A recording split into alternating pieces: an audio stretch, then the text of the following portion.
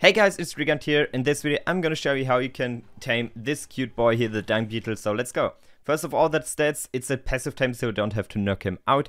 The food is poop.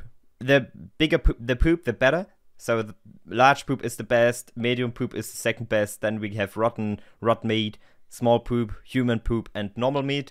Um, yeah, it can be carried by an Argentavis, Crystal Wyvern, Wyvern, and the cats. It spawns on all maps, and the difficulty, I would say, a half out of five points. I, I think I've never gave someone less points, and so yeah, pretty easy tame. Just make sure you have more than enough, like just, just some poop with you.